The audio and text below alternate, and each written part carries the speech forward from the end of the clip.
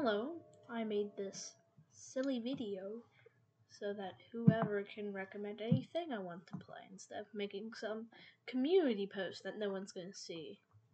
I can play stuff like Heart, Hearts of Iron 4 and RimWorld and, and other things like Oxygen Not Included, People Playground, making silly contraptions and that.